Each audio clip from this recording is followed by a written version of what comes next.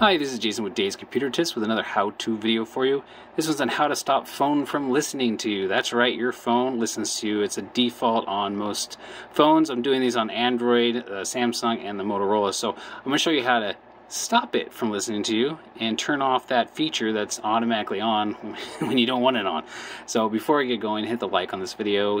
Um, it really helps out our channel. Also hit the subscribe and notification bell so you don't miss any new videos I come out with every Thursday. I had an early one last week. I'll send the link down, link down below for you.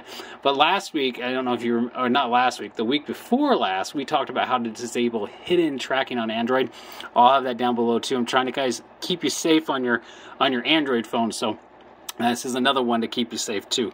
So I'm doing it on two different phones for you. I'm going to do it first on the Samsung Galaxy S22, which is my wife's phone, and then I'm going to show you how to do this on the Motorola Edge Android phone I have. So let's first start with the Samsung Galaxy. So what you want to do is get out of the screen, because that's the article, and then what you're going to do is you want to get the settings open, swipe down, and then at the top right, hit the gear icon.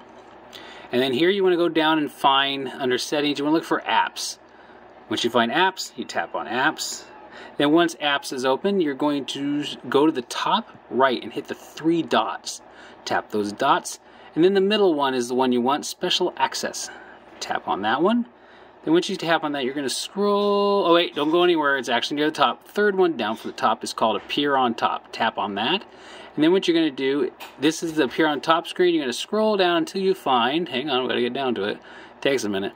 Uh, we're going to get down to where it says Speech Recognition is the one you want to turn off. So make sure this switch is off. It's on, if not on my wife. So if it's on, it's going to look like that. If it's off, looks like that. So you want to make sure that feature is shut off on your Samsung Galaxy phone. That way you don't have them listening to you when you don't want them to. All right, we're going to jump over to the Motorola Edge Android phone and show you how it works on there. Okay, now I'm on my Motorola Edge Android phone and we're going to do this. We're to swipe from the top, swipe down again, and you go down to the bottom to the gear icon, tap on that. And then once you do that, you're going to go down until you find the same thing you found on the other phone, apps. And that's what we're looking for. You're to tap on apps. And then once you tap on apps, you're going to look scroll down to the very bottom. There's going to be one called Special App Access. And then you tap on that. Then what you want to do here is look for, if I can find it, uh, this top, this third one down, display over other apps. We're going to tap on that. And then once you do that, you're going to be here on this screen. You're going to scroll down to get to the same thing you found on the other phone. It's called speech recognition and synthesis, synthesis, I can't even say the word, from Google. Just go with it, guys.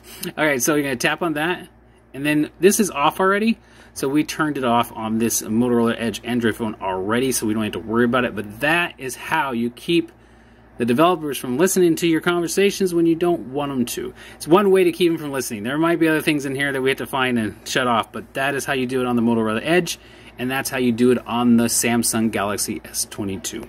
Thanks for watching. Make sure you hit the like, subscribe, and notification bell. And that's it. Make sure to check out davescomputertips.com. That's where all our articles are, and also make sure you subscribe to this channel. Thanks for watching.